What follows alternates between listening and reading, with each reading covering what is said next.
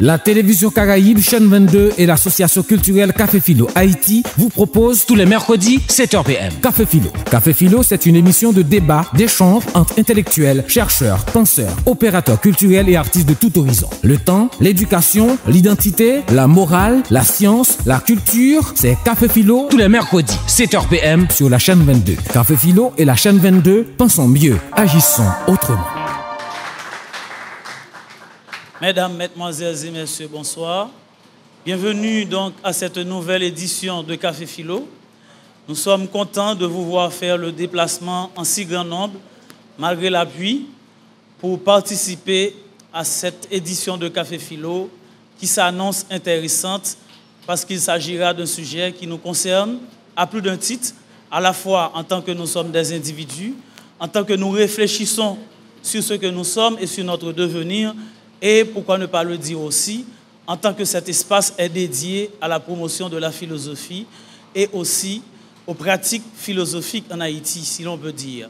Très rapidement, pour rester cohérent dans la logique euh, du format de Café Philo, je vous invite donc à vous mettre debout pour entonner ensemble l'hymne national d'Haïti, la dessalinienne.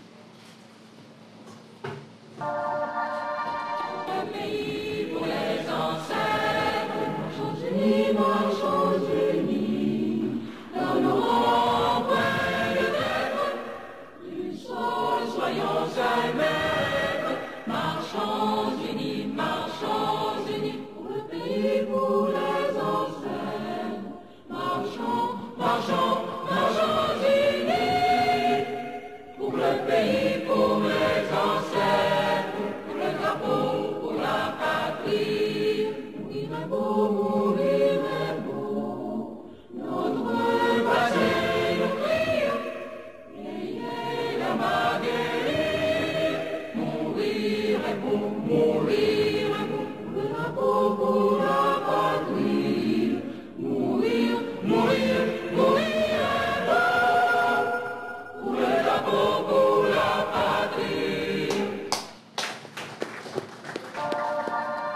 Merci. À présent, nous allons passer à l'audition de la chanson dite fétiche. Cette chanson que nous affectionnons tous et toutes ici à Café Philo et qui fait très bien partie intégrante de son format, en l'occurrence Hasta Siempre Comandante dans la version de Julio César Balbosa. Écoutez bien, nous vous revenons.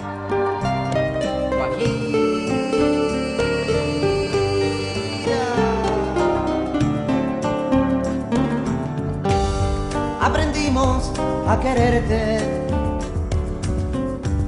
desde la histórica altura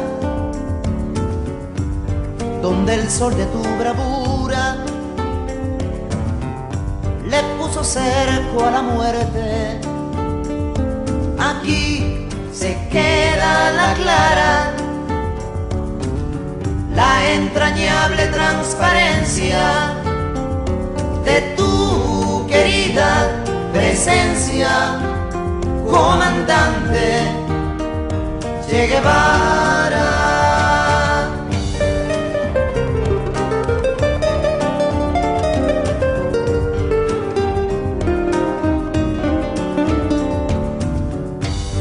Tu mano gloriosa y fuerte, desde la historia dispara cuando todo Santa Clara se despierta para verte. Aquí se queda la clara, la entrañable transparencia de tu querida presencia, comandante Che Guevara.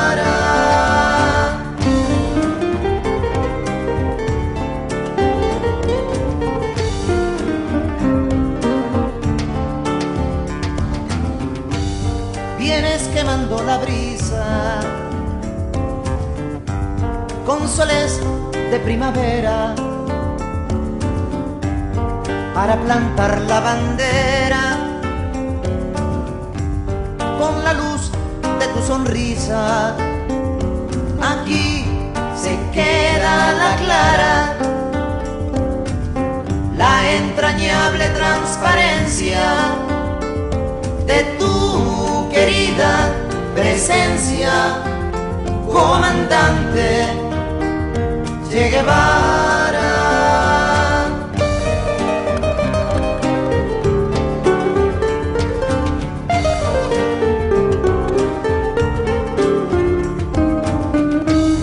Tu amor revolucionario que conduce a nueva empresa, donde espera la firmeza de tu brazo libertario. Aquí se queda la clara, la entrañable transparencia de tu querida presencia, comandante Che Guevara.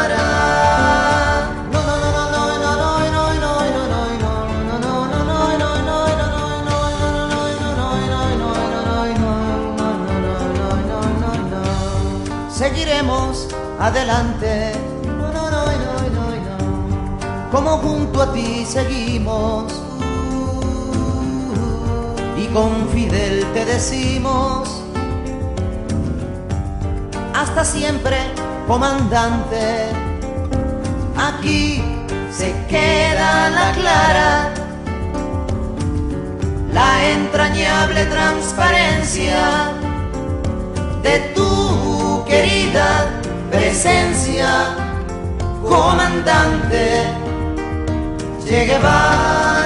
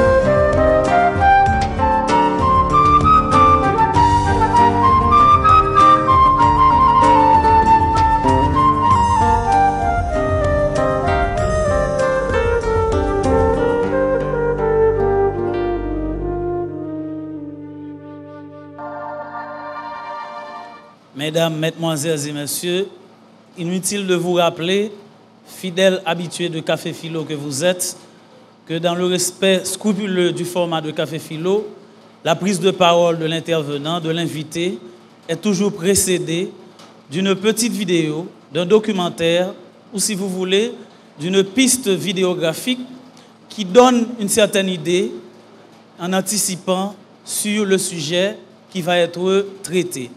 En ce sens, ce soir, puisque nous allons parler de bonheur, nous ne pouvons mieux faire que d'inviter parmi nous un philosophe très connu pour son œuvre et notamment pour ses derniers travaux sur le bonheur, particulièrement pour son livre intitulé Du bonheur, un voyage philosophique, en l'occurrence Frédéric Lenoir, qui va nous entretenir pendant quelques minutes autour de ce que peut être le bonheur.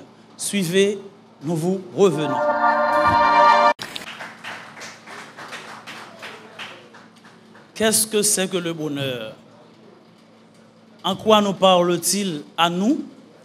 S'agit-il donc à proprement parler d'un état de satisfaction globale, générale, ou d'un état passager?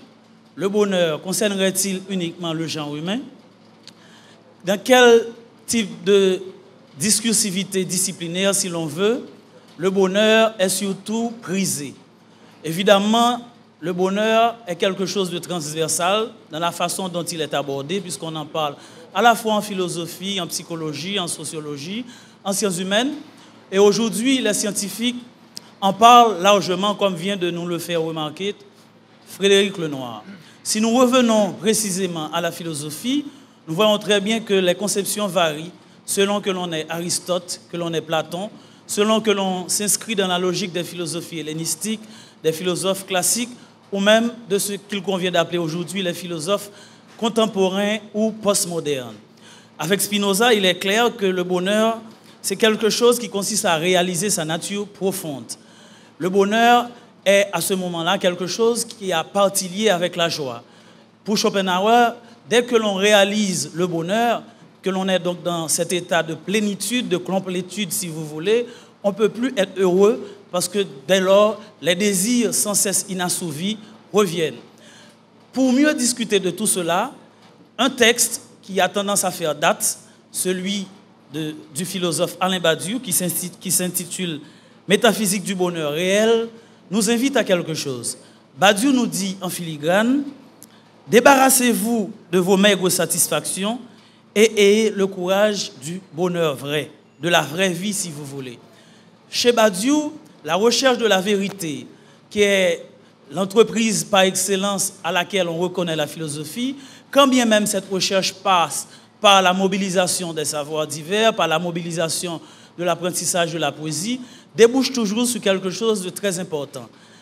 La quête de la vérité nous invite à être heureux. Il n'y a pas de philosophie possible que la philosophie qui rend heureux. Et c'est pour cela que l'histoire de la philosophie, selon Badiou, qui est donc l'exigence de la vérité à laquelle se reconnaît tout philosophe, est donc l'histoire du bonheur à proprement parler. Qu'est-ce que nous pouvons faire si nous ne savons pas ce que c'est que le bonheur? Si le bonheur, le bonheur pardon, est toujours quelque chose de discutable. Donnons donc la parole à un philosophe de formation, sociologue de formation également, Claude Roumain, qui est passé de présentation en Haïti pour ses activités politiques et à la fois aussi pour ses différentes prises de parole, pour ses différentes interventions dans les espaces publics de ce pays, que nous avons le plaisir d'accueillir ce soir et qui va discuter avec nous autour d'un thème précis.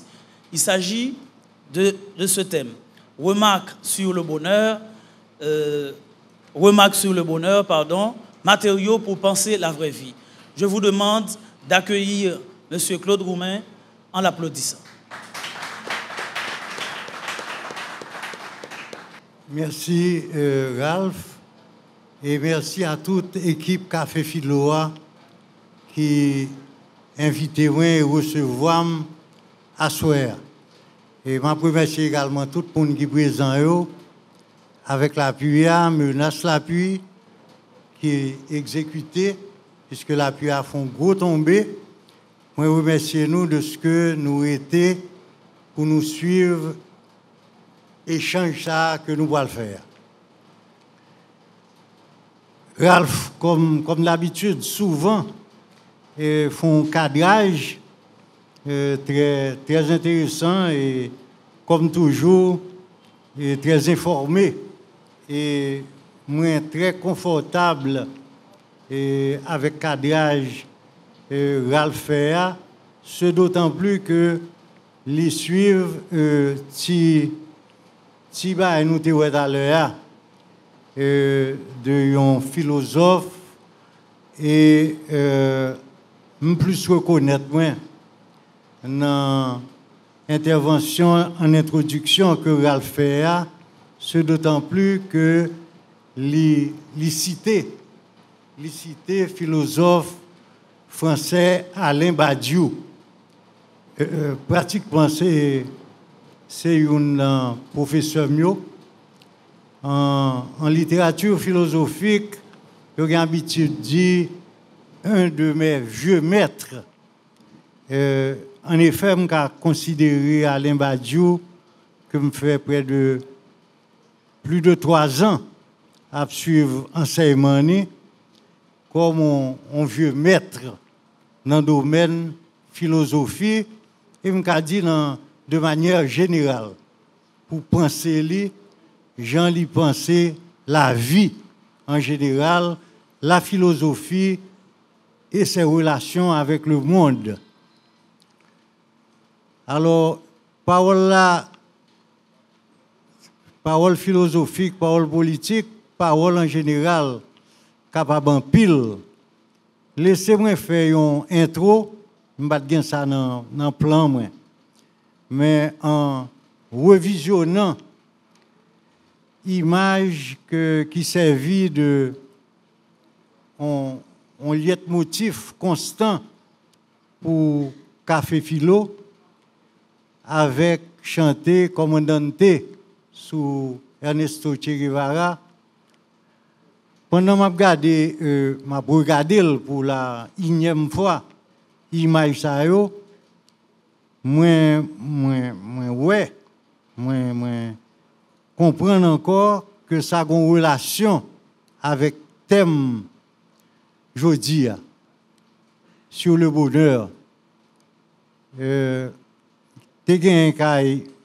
Che Guevara de manière évidente yon, yon désir de comprendre la vie, comprendre sens la vie et un désir de, changement. Et pourquoi pas dire mot, un désir de révolution. Et ville, c'est ça lié. Et recherche ça, il y a un rapport avec une quête incessante du bonheur, dans la conception que le cas gagné de sa bonheur.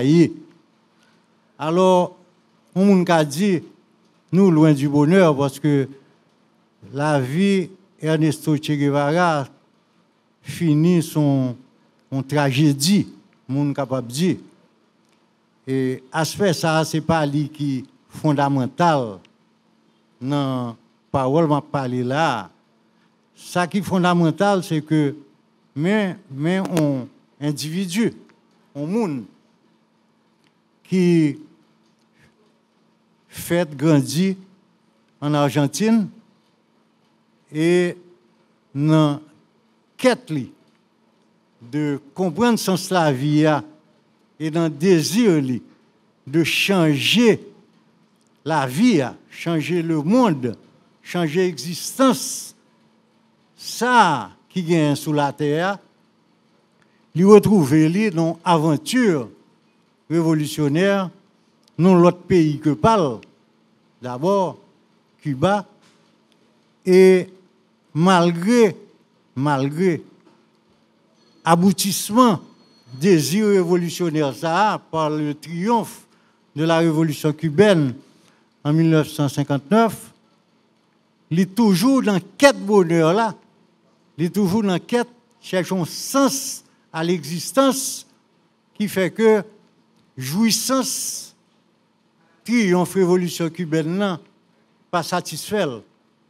Ça veut dire au lieu de jouir du succès de combat que le en s'intégrant à l'État cubain avec tous les privilèges et, les honneurs que cela peut comporter, et comme de fait, l'y comporter, l'y toujours dans la même logique de désir de changer le monde, d'améliorer les conditions de vie dans le monde, dans cette quête incessante du bonheur. Et c'est ça qui fait que moi, je pense que l'image ça avec euh, la vie, histoire, commandant de et il y a un pile rapport avec thème aujourd'hui sur le bonheur. Donc, il permet de comprendre que selon une certaine conception que moi partagée et que je vois notamment Alain Badiou, bonheur là, dans l'esprit philosophique, ça m'a parlé, qui vient de Platon en réalité, et d'autres philosophes, son, son chaîne, son fil, mais les différents fondamentalement de Sankarele satisfaction. Une grande différence, c'est l'homme des philosophes qui t'a parlé sur extrême de OEA, moi que li pas nécessairement dans lignée philosophique ça, bien que le cité Spinoza, qui lui-même dans lignée philosophique ça m'a parlé. À savoir bonheur là, faut distinguer de satisfaction. Satisfaction d'avoir une vie soi-disant, ou bien si nous voulons, heureuse par le fait que vous gagnez un bon travail qui satisfait, une bonne situation financière qui met à l'abri du besoin matériel, une femme que l'on aime et peut-être qui, qui boit la réciprocité, de beaux enfants. Et ce serait ça, la définition du bonheur dans le sens trivial, dans le sens prosaïque et trivial. Mais dans la conception, ça que moi partagé et que moi envie offrir quelques éléments dans la compréhension, bonheur là, aller au-delà de la satisfaction individuelle basée sur les ans matériels. C'est pas ça le bonheur. Et en ce sens, nous avons posé question, peut-on parler du bonheur à Port-au-Prince en juillet 2017 Les cas, une certaine indécence là-dedans. Ou que dans un capital comme Port-au-Prince, dans un pays tant Panna, Haïti, côté moun littéralement dans la pauvreté de masse, la majorité, et le reste de la population en majorité dans la précarité, précarité totale ou partielle, et seulement une infime portion de la population ou capable de dire dans une certaine aisance matérielle et encore dans des conditions d'environnement lamentables. Maintenant, euh, oui, réponse c'est oui. Non seulement on peut parler du bonheur en Haïti à Port-au-Prince aujourd'hui, mais on doit parler du bonheur. Et en ce sens, et en ce sens essentiellement, en établissant un distinguo clair et net en justement l'idée de cette satisfaction qui fait que des gens pensent que c'est ça qui fait heureux et c'est des SAOE, un bon travail, une maison confortable, des moyens financiers, une famille unie et des possibilités éventuellement de déplacement dans le monde. Alors que ça n'a pas à nous-mêmes, sont l'autre bagaille. En conception panne du bonheur, c'est précisément aujourd'hui à Port-au-Prince et en Haïti, une discussion sur le bonheur est importante. Parce que précisément, dans la période que nous vivons là, et c'est un peu vrai pour toutes les parties du monde contemporain, c'est l'individualisme qui est l'idéologie dominante du monde contemporain. Et dans notre pays, c'est aussi le cas.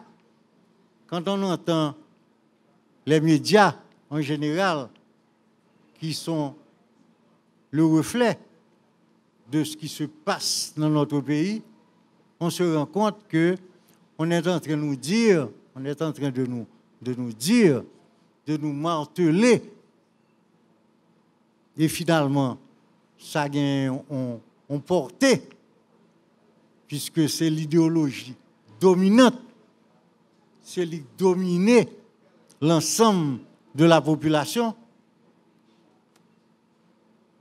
Chaque monde sauve tête li. Paraître tête li, sauver tête li. Chaque coucou pour géo. Puisque finalement, l'idée d'un combat collectif ne vaut rien, n'aboutit à rien et n'a aucune valeur. Ceci est complètement différent. C'est ça que fait me image et chanter à Che. Ceci est complètement à l'opposé du comportement de Che Guevara et nous pouvons des exemples haïtiens du comportement de Jacques-Stéphane Alexis, pour qui le bonheur ne se résumait pas à être satisfait, heureux, à Paris, d'être un docteur en médecine neurologue dans un grand hôpital parisien entouré d'honneurs, publiant chez Gallimard. Éventuellement, il aurait eu un prix Goncourt ou un prix féminin ou un prix indernalier, un prix littéraire quelconque, vu son talent d'écrivain. Une femme et une fille, Florence Alexis, qu'il aimait énormément, mais cela n'était pas sa représentation du bonheur. Sa représentation du bonheur était une quête et un désir de changement, non pas pour lui et ses proches, mais je dirais dans le sens de l'humanité et en particulier de la société dans laquelle il a grandi en Haïti. Donc sa conception du bonheur est à l'opposé de ce que aujourd'hui en Haïti on veut nous faire croire et on arrive à nous faire croire puisque c'est la fin de la philosophie, c'est la fin de l'idéologie, c'est la fin d'un combat collectif et d'une œuvre collective, d'une recherche, un désir de changement, un désir de révolution dans le sens de transformation de cette vilaine réalité, de cette réalité où les gens ne peuvent pas être heureux véritablement. Ils peuvent avoir une minorité, peuvent avoir des satisfactions matérielles, mais comment peut-on être heureux dans un environnement aussi délétère?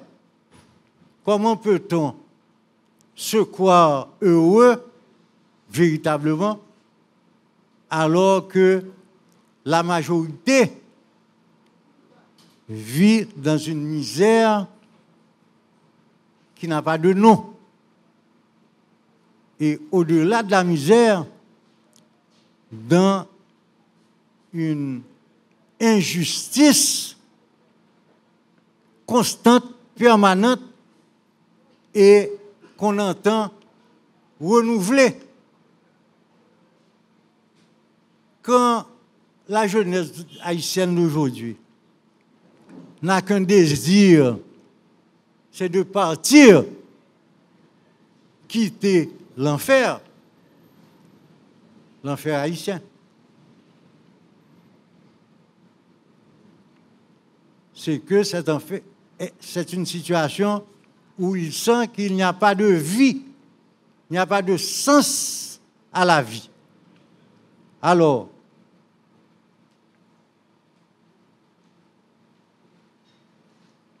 à la plupart de mes amis, mes amis d'aujourd'hui, parce que les amis, ça vient, ça va. On, a des amis à tout temps de son existence. À mes amis d'aujourd'hui qui sont, pour la plupart des, jeunes, euh, pour la plupart, plus de la moitié de mon âge, je dis toujours, et qui se, qui se veulent qui se croient ou bien qui se veulent ou bien qui sont des militants politiques, je dis toujours, il y a le combat politique dans le sens de se battre pour un changement appropriément politique, mais encore plus important peut-être, il y a un combat sur le front de la philosophie à mener. Il y a un combat sur le front des idées à mener. Et il ne suffit pas de se dire pour le changement ou bien même révolutionnaire. Il ne suffit pas de participer à des, à des luttes revendicatives concrètes, ceci est important, mais il faut également mener un combat sur le front de la philosophie, sur le front des idées, et c'est peut-être pour ça que, il y a longtemps, j'avais proposé à, à Ralph, lors d'une rencontre, que nous fassions un café philo sur le bonheur. Parce que précisément, dans l'Haïti contemporaine, c'est le, c'est le cynisme qui domine. Le cynisme et le scepticisme sur notre capacité en tant que peuple à transformer cette réalité. Sur la base, soi-disant, d'expérience des 30 dernières années, on veut nous faire croire et on prétend que c'est l'échec total. L'échec total de plusieurs générations qui ont cru, qui ont voulu transformer cette réalité. Donc il n'y a rien à faire. Donc la vérité serait le sauvetage individuel. La vérité serait sortie tête tout, comme dit un grand chroniqueur, un grand, un chroniqueur très connu et très, très influent des masses médias haïtiennes. Sortie tête tout, sauver tête tout. Et, et ça me rappelle un, un ancien militant, je ne sais pas, prétendu tel, euh, étudiant, qui rencontre un autre camarade qui était avec lui dans, dans les luttes étudiantes des dernières années et qui, qui depuis lors a, a rallié le système et aujourd'hui fait partie de ce qu'on peut appeler la classe politique du pouvoir d'État. Son grand nègre. Il est sous pouvoir avec tous les avantages, tous les privilèges que cela entraîne. Il rencontre son ancien camarade, bizarrement, à une librairie, et il lui dit, soit fait chez vous-même, soit régler. L'autre lui explique qu'il est encore professeur dans un lycée de Port-au-Prince, parce qu'il était un ancien de l'école normale. Donc, c'est tout à fait normal qu'il se retrouve comme professeur dans un lycée de Port-au-Prince. Et l'autre de lui dire de manière très cynique, ou bien les, faire serment, ou bien on point pour mourir pauvre. Et, et l'autre peut-être de lui répondre, je crois que c'était sa réponse, telle qu'il m'a rapporté la conversation. Non, je ne pas prendre point pour mourir pauvre, non. Je prends point pour mourir honnête et conséquent à tête. Une grosse différence. Alors, et cela nous montre que le, on veut nous faire croire qu'il n'y a plus de rêve collectif. La recherche du bien, du beau, du juste, qui sont des notions philosophiques qu'on retrouve euh, avant Platon, depuis Platon certainement, avec force, dans Spinoza, dans n'importe quel auteur classique de la philosophie, la recherche du bien, du beau, du juste, de la vérité, de la vraie vie, comme le répète Alain Badiou, du bonheur, cette quête du bonheur, euh, on veut nous faire croire que cela ne peut exister dans le monde contemporain. Et c'est bien pourquoi je- je- j'affirme qu'il est important que nous parlions non pas de la satisfaction, mais du bonheur véritable et que nous lui donnions un sens à ce, à ce concept de bonheur.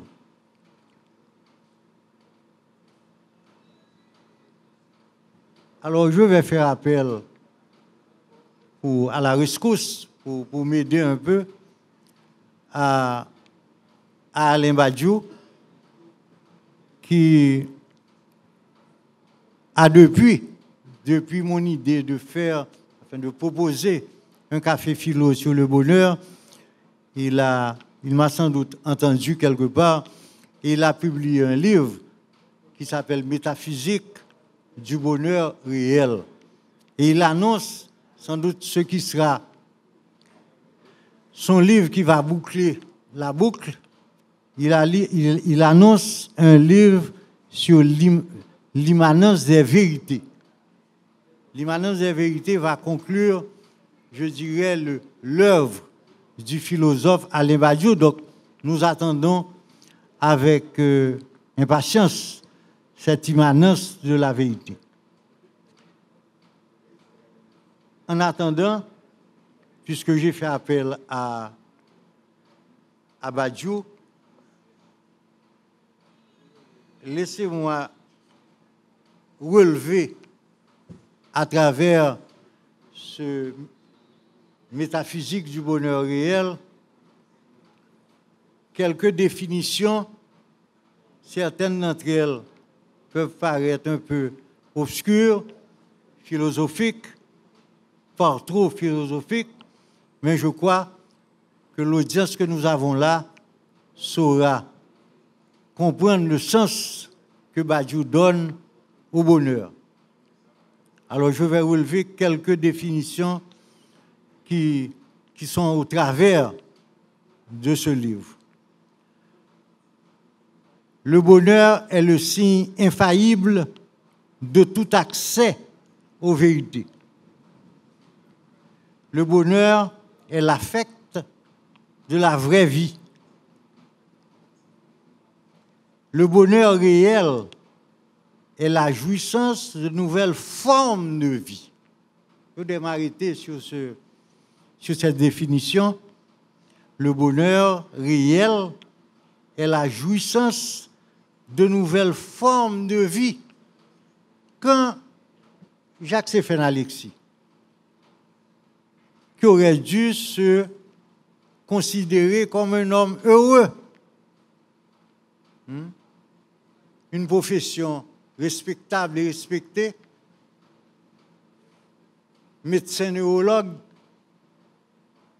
une femme, des enfants, une maison agréable, un écrivain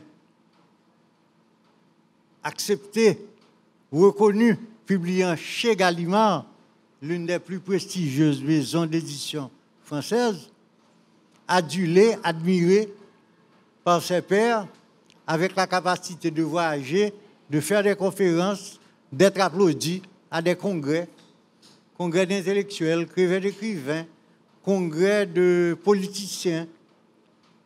Et ne voilà-t-il pas qu'il cherche le bonheur réel à travers de nouvelles formes de vie, de nouvelles formes de vie qui n'existent pas dans nos sociétés telles qu'elles sont aujourd'hui. C'est ce qu'on appelle ce désir de changement et ce désir de révolution qui brûlait tellement celui qu'on a vu, Ernesto Che Guevara.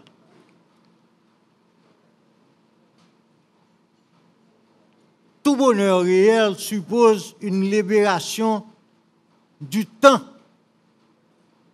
Une libération du temps. Donc, son bagage qui atemporel, c'est bon bagage qui gagne une, finitude là-dedans. C'est bon bagage qui finit. Son bagage qui est un perpétuel, infini, le bonheur.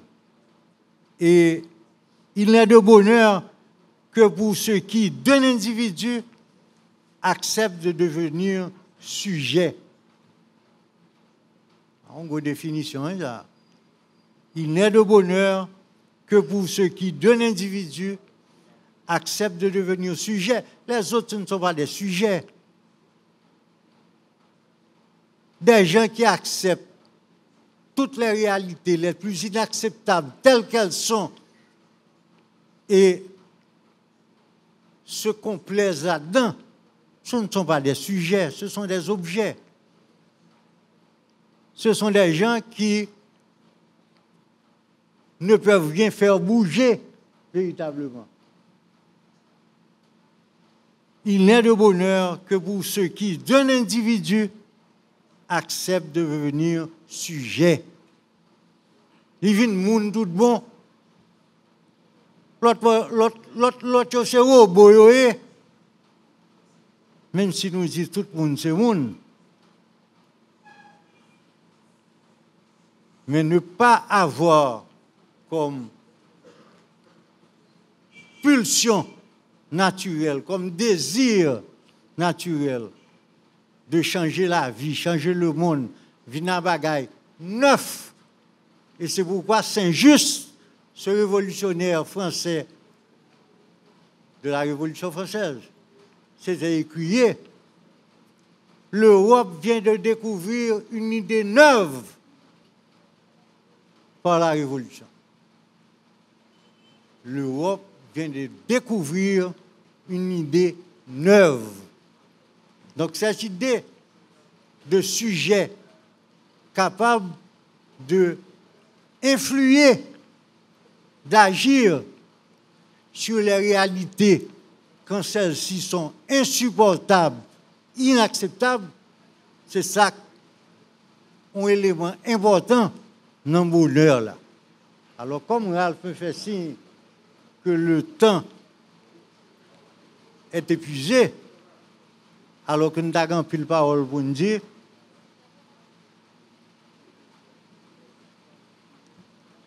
nous allons faire un atterrissage forcé. Nous allons faire un atterrissage forcé. Dans la réalité, je dis, D'Angelo n'est pas là. Notre ami brillant, talentueux et sympathique d'Angelo, nous n'en bonheur. Nous sommes dans le bonheur. Nous d'accord, oui, d'Angelo. Mais on monde qui, même Jean patron haïtien, pas d'accord, pour ouvrier, une augmentation salaire minimum qui permet de vivre, il va dans le bonheur. Il va droit dans le bonheur, ça n'a pas parlé. Un monde qui pas comprendre nécessité transformer l'université d'État d'Haïti et l'enseignement de manière générale pour que ce n'est pas dans situation ça, mon a étudier en Haïti ou bien désapprendre en Haïti, il pas dans bonheur. Dans bonheur, son chemin lié. Son chemin, côté, nous qu'a fait bouger les choses parce que nous baillons la vie à sens et que nous continué en quête incessante.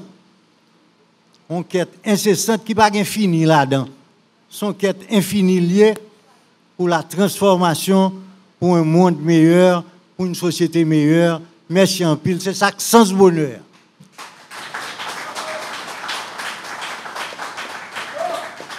Disons donc merci à Claude.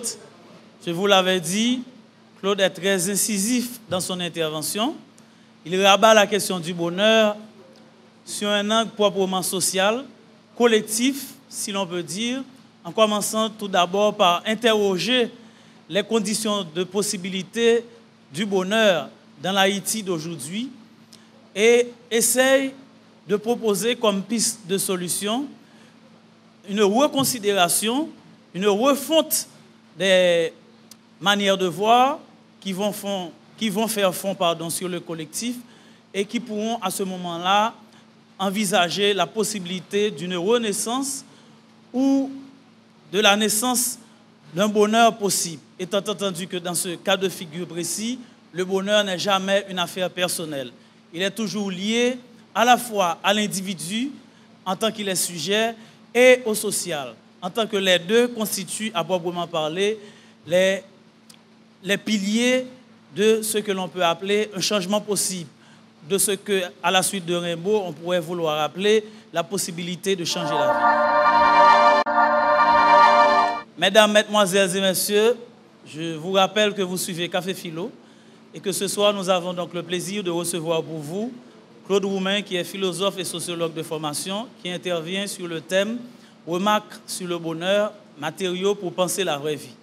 Nous en arrivons donc à l'étape euh, la plus décisive, si vous voulez, à Café Philo, où le public sera invité à interagir avec l'invité.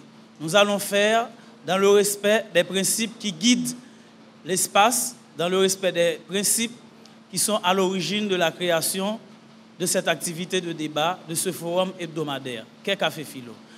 Pour ce faire, je, fais donc appel à M. Paulson Pierre-Philippe, à estimé James Weber, à Jean-Ronald Montas et enfin à Lucas Christine Napoléon.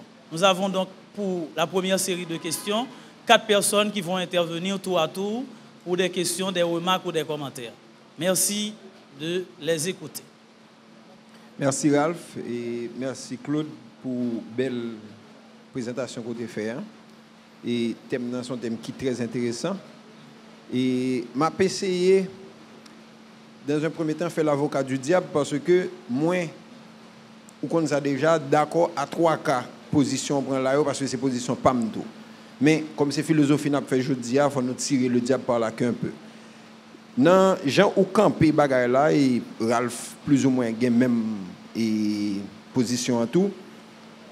Le bonheur d'après moi pas cas personnel il ne peut être que collectif selon Jean nous présenté là ou du moins selon Jean nous perception par nous nous-mêmes de côté de camper son nègre heureux.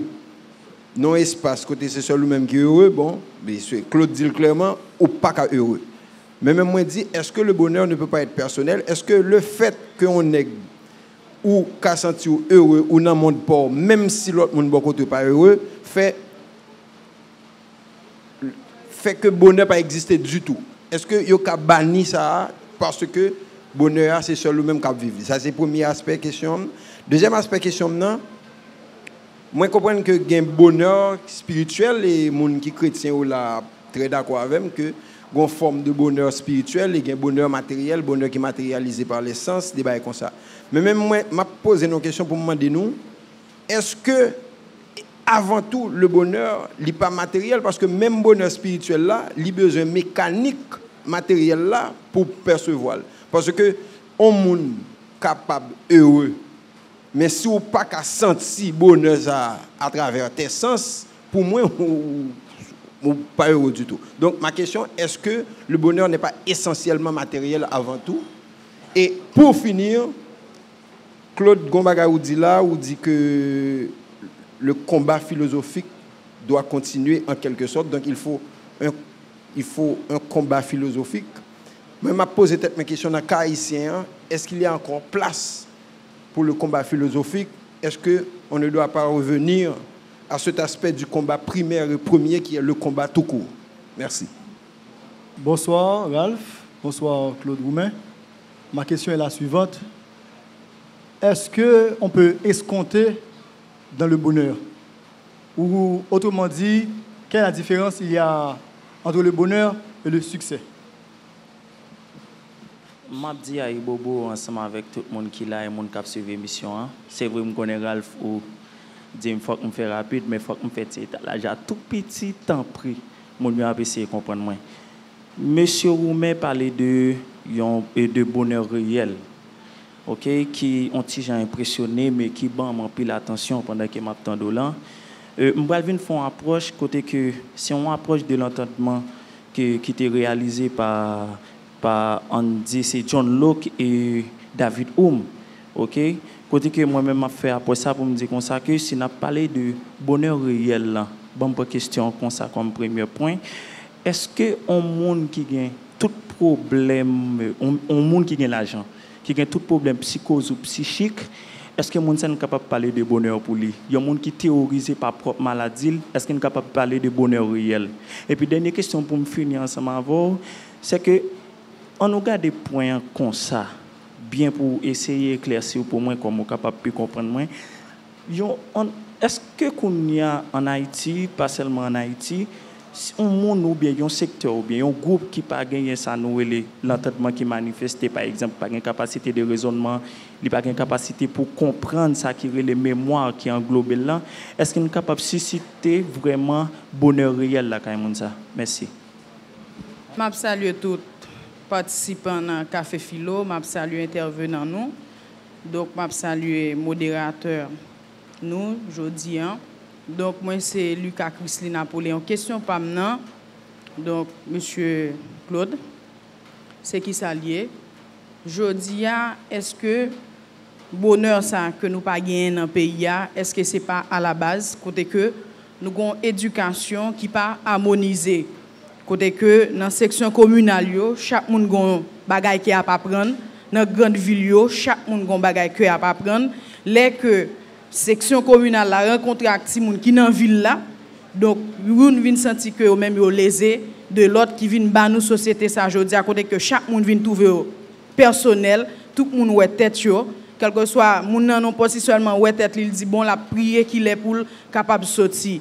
Et pour un dernier bagay jodi a moi m'a profité d'il parce que moi moi gagné des jeunes jodi a tout ça dans tête c'est quitter pays a donc c'est qui soit ka ba yo comme conseil pour permettre à ce qu'on prenne confiance dans tête et dans pays ça parce que jodi a pendant n'a quitté grand pile monde qui remène tout cap rentrer cap vinn prendre. Merci.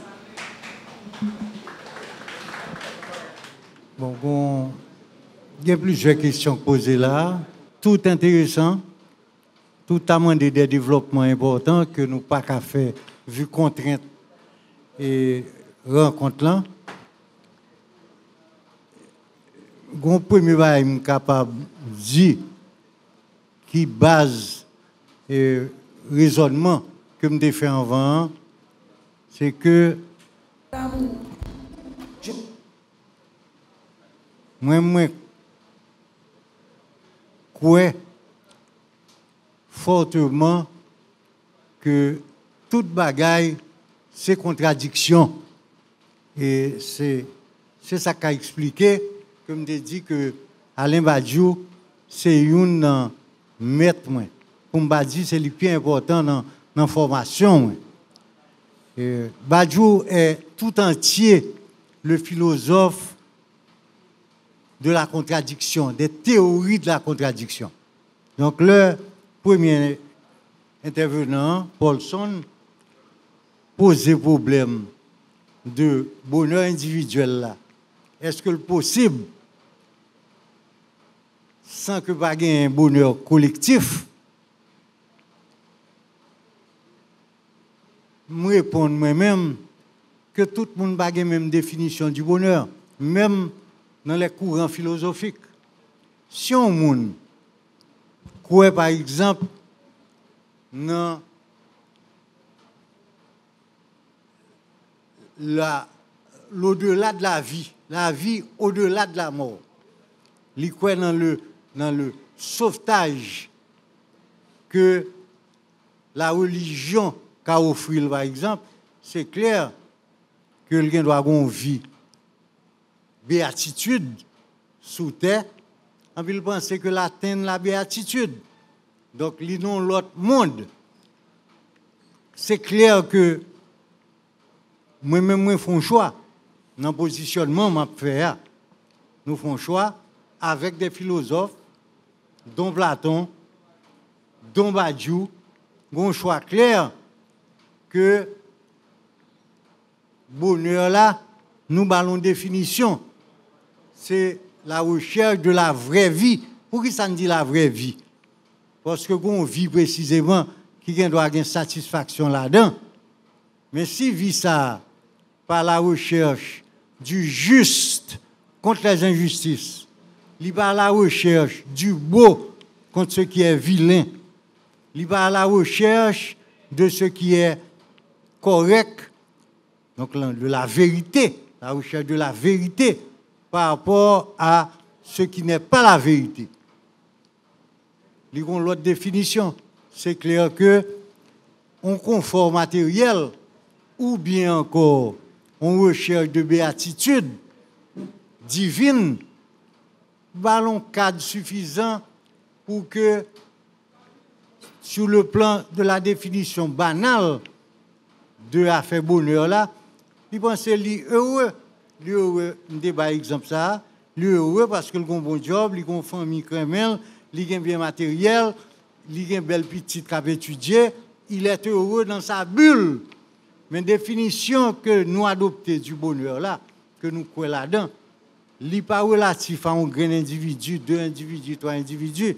C'est une, conception philosophique qui est ontologique, qui est ontologique, qui est fondamentale, qui est essentielle dans la conception que nous avons du monde. Tout le monde avoir la même conception du monde. Donc, dans la conception du monde que nous gagnons de transformation, bonheur là pas qu'à autre chose que samedi. hein. Tout bonheur est obtenu en un sens par la force du vouloir. Le bonheur est la venue dans un individu du sujet qu'il découvre pouvoir devenir. Le bonheur est la venue dans un individu du sujet qu'il découvre pouvoir devenir.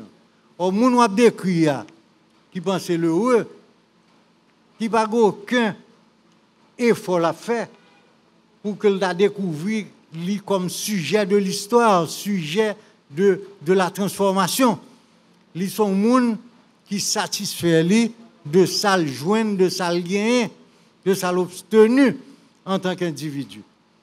Donc, sont individus qui passifs par rapport au monde qui l'entoure. On pas oublier cette phrase-là. Il s'agit de transformer le monde.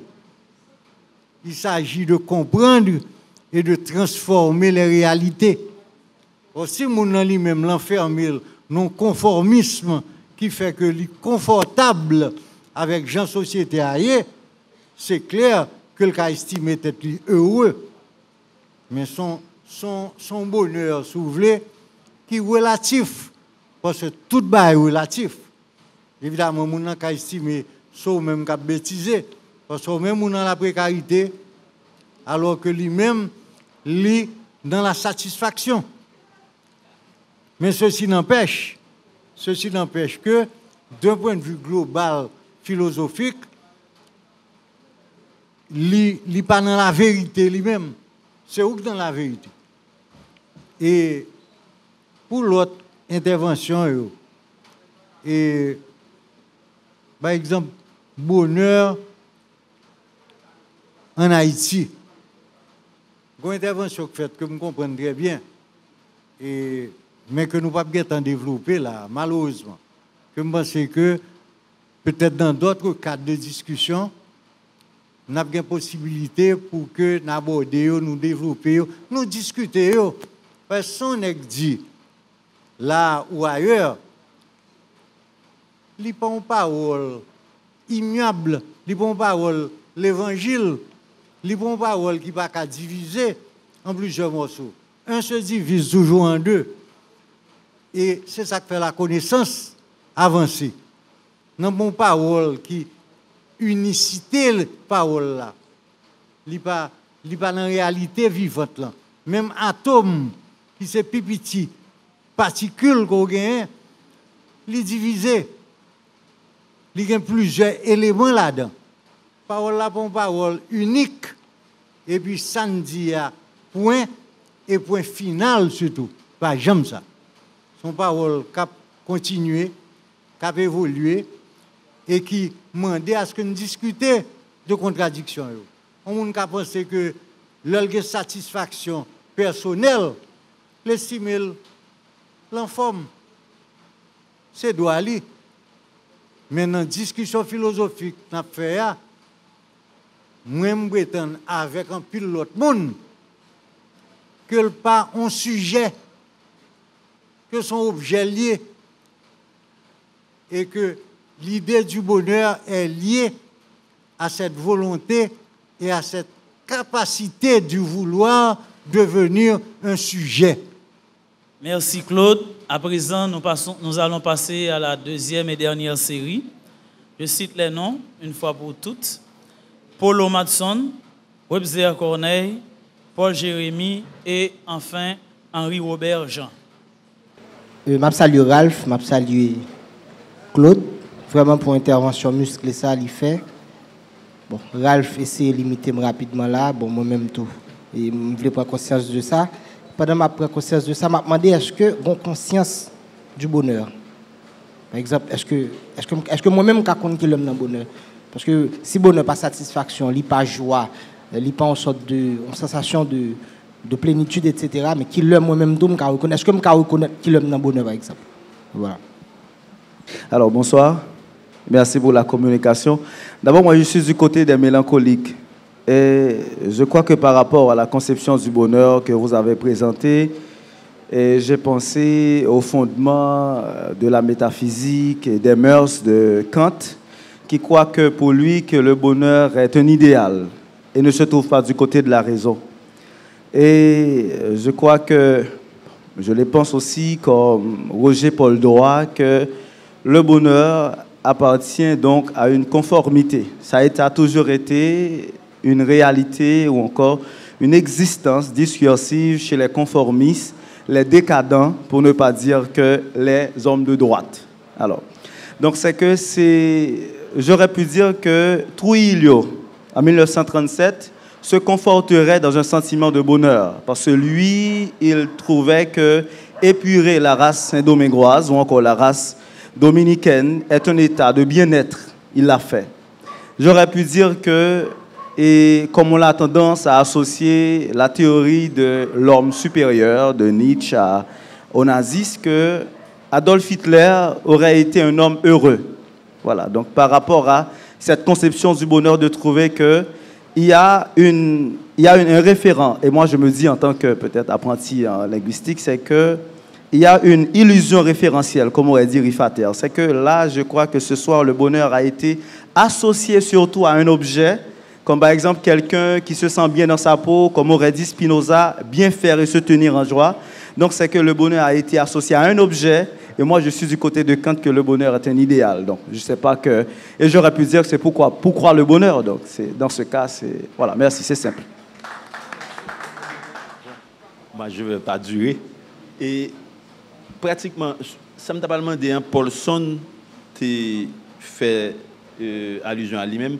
C'est-à-dire que, vous semblez que y une dichotomie qu'on fait entre bonheur qui a rapport avec euh, enfin, satisfaction personnelle et bonheur qui sortit dans le collectif. Moi-même, ça me t'a demander, bon, il faut me demander lycée, est-ce que vous pas pensé que tout comme on dit que la charité bien ordonnée commence par soi-même, est-ce que le bonheur bien compris ne commence pas par soi-même, en ce sens, par le sentiment d'être bien dans sa peau? Voilà. Bonsoir. Euh, bios, bios, biou deominos, ou estine bios, disait un auteur euh, grec. Une vie sans les moyens de vivre n'est pas une vie. Or, de par l'orientation de cette euh, conférence, je trouve que le côté matériel du bonheur est un petit peu banalisé. Or, chaque individu est habité par ce désir du bonheur. Donc, Monsieur Claude, entre l'immanence et la transcendance, pour articuler, pour faire cette articulation, pour dépasser cette contradiction, selon vous, est-il besoin d'avoir beaucoup de tempérament pour faire ce choix? Merci. Encore une fois, de questions, ça a montré l'importance euh, débat sur le bonheur là, parce que toute intervention, il y a gagné raison d'être et il y a gagné sens. Et nous voulons faire une précision. Très souvent, l'homme développe une thèse ou bien venir avec une proposition dans le sens philosophique terme proposition, il y a une tendance euh, prendre et écarter toute l'autre éléments qui, par proposition ça, ou bien euh, position ça, or, je ne prétendre ça. Je ne prétendre du tout que l'homme en général, les individus que nous sommes, hommes, femmes, que nous pas besoin de satisfaire besoins matériels. Côté l'idée ça t'a sorti. Nous avons besoin d'améliorer la situation, la vie nous, dans la vie de tous les jours. On monde qui prend camionnette, monter, descendre, la passer misère, etc. Il a bien aimé une machine pour ne pas passer misère. Pas un problème dans ça. On monde qui gagne une madame à trois petites, qui habite dans deux pièces cailles, si moun yo pas gen chambre, y a dormi dans mauvaises conditions, promiscuité. Il a besoin et, et améliorer les conditions matérielles de la ville pour une chambre pour chaque petit s'il capable. C'est tout à fait légitime, normal, et même c'est ça, c'est pour ça pour le goût, même dans la vie. Donc, ça me dit à pas opposé à ça. À c'est que lutte pour satisfaction matérielle dans conditions d'existence, ce n'est pas le bonheur de manière immanente, et de ça m'a parlé. Ce n'est pas le bonheur de manière immanente pour que ça seulement constitue le sens de ta vie, le sens de l'existence. Sinon, l'existence n'a pas de sens. Philosophiquement parlant, humainement parlant, il va pas de sens. Et comment, et comment, un monde qui voulait améliorer les conditions d'existence par ce qui, encore une fois, est légitime, naturel, normal, et le fait pour le goût, mais pour lui. Et c'est bien pour ça qu'on a demandé individuellement, même si son action collective l'a demandé, l'a mené, l'a demandé augmentation de salaire, c'est pour le vivre bien. Même si nous connaissons que le salaire n'a pas n'a pas fait le vivre bien vraiment, mais n'a parlé de d'autres catégories de personnes. Par exemple, un monde qui on, on, habite en côté, il a trois petites, et bien, c'est dans deux pièces qui liées. Il faut que le gourmet, pour que la situation change, améliorer. Donc, moi-même, je ne pas opposer l'amélioration des conditions matérielles de vie à question bonheur que nous avons parlé. Je ne pas opposer. Ne pas opposer à l'un à l'autre. C'est précisément parce que nous avons besoin d'améliorer les conditions d'existence de vie pour y atteindre la vraie vie qu'il nous faut changer la réalité que nous avons là, qui peut pas toute le monde possibilité ça, qui pas le minimum? Ça veut dire capacité pour que une famille gagne une aisance matérielle, n'a pas existé dans le monde que nous vivons pour la grande, grande, grande majorité de la population. La capacité d'avoir jouissance de biens matériels qui satisfait mon nom, dans le monde n'a pas dans la société n'a est seulement possible pour une infime minorité de personnes. C'est de ça qu'il s'agit. Donc, bonheur là pas qu'à satisfaire parce que un monde sous 100 monde satisfait, monde qui satisfait a dit que moi-même moi heureux qui me les mal autres Et de ça qu'il s'agit. Il s'agit dans le sens à donner à la vie d'opposer l'individualisme forcené, l'égoïsme qui contraire à toute idée collective de progrès, c'est ça à nous opposer. Nous combattons l'individualisme, l'égoïsme qui pense être arrivé pendant le dîner là, ou même, ou même, moi-même, moi arrivé côté moi. Mais au prix de quoi? Au prix de quoi? Et au prix de quelle, quelle action contraire à l'intérêt collectif que nous vivons élément qui dans la classe politique du pouvoir d'État, qui t'a parlé ancien camarade de il pas comprendre rien gagné en jouissance là et précarité l'autre là. au lien. Je ne peux pas être possédant de moyens de production, d'échange et de jouissance matérielle sans que la majorité en soit dénuée dans la société niée. C'est de ça qu'il s'agit. Donc l'idée, ce n'est pas de pas vouloir améliorer les conditions de la ville, non. L'idée, c'est de dire qu'en améliorant toi, ta condition de vie, dans les circonstances que nous connaissons, tu plonges la majorité dans la pauvreté de masse. C'est de ça qu'il s'agit. Donc le combat pour le bonheur ne s'oppose pas au combat pour améliorer les conditions individuelles, matérielles d'existence. Au contraire, il nous faut nous battre pour améliorer nos conditions d'existence. Mais c'est un combat collectif. C'est un combat collectif du beau contre le lait, de l'honnêteté contre la corruption, de la cupidité contre l'altruisme. Alors d'après vous, pas de possibilité que vraiment patron continue à faire fonctionner usine en Haïti de sous-traitance en faisant des bénéfices intéressants qui fait que a continué à être dans le si moun a continué à étudier à l'étranger, ça va pas retirer rien dans les matériels. Mais n'y a pas d'accord augmentation parce que bonheur par yo étroitement lié à misère par l'autre.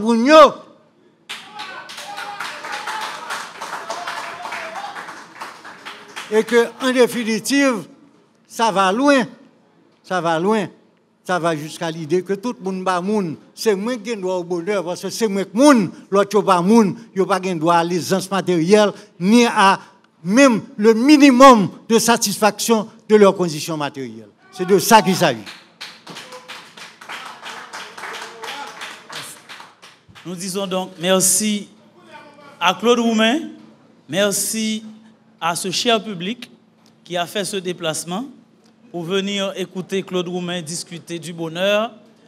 On a fait, en tout cas, on a abordé tous les aspects que l'on pouvait aborder dans le cadre de ce débat qui concerne donc à proprement parler le bonheur.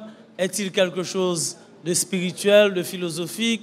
Concerne-t-il euh, l'individu à proprement parler ou le collectif? Comment mon bonheur peut-il être lié au bonheur de quelqu'un qui est dans la salle et vice-versa? Je pense que si nous devions rester ici pour continuer la discussion, il nous faudrait assurément plus d'heures. La discussion se poursuit éventuellement, si vous, le voulez, puisqu'il y a toujours un after Café Philo. En attendant, je donne rendez-vous à ce beau public de Café Philo à mardi prochain pour une autre édition de Café Philo, encore plus intéressante autour de notre sujet qui s'annonce également intéressant. Merci et à mardi prochain.